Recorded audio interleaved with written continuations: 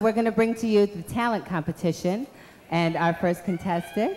Let's have a nice round of applause from Florida, contestant number nine, Chyna Kelly.